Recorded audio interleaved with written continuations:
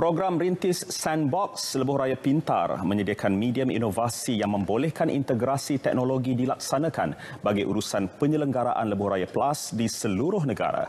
Menteri Sains, Teknologi dan Inovasi Datuk Seri Dr. Adham Baba berkata, program berkenaan mampu mempercepat pendekatan inovatif dalam kerja-kerja penyelenggaraan Lebuh Raya menerusi penggunaan teknologi.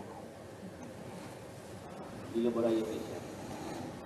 kita memperolehi pendedahan kepada teknologi-teknologi terbaru ini secara tidak langsung ia dapat meningkatkan kemahiran kecekapan dan juga produktiviti warga kerja plus melalui penggunaan teknologi dan data ketepatan tinggi di dalam operasi harian dan kerja penyelenggaraan lebuh raya.